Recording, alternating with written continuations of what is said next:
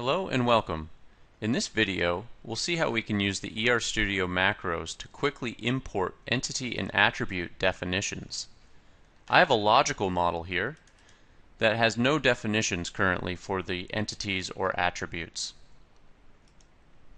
The first thing I'll want to do is create a template for an Excel spreadsheet. I can do that by running the export object definitions and notes to Excel.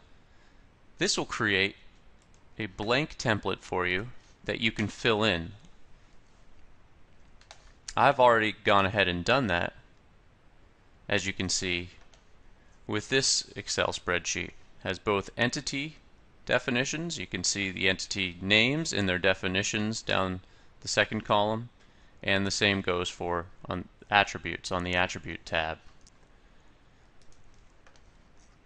I'm then going to go ahead and use the import object definitions and notes from Excel macro and browse to that.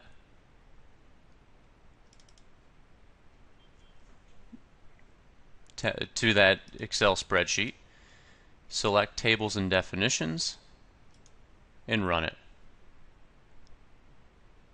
The macro will read the Excel spreadsheet and in a moment, we can see that the definitions has been imported for both entities and their attributes.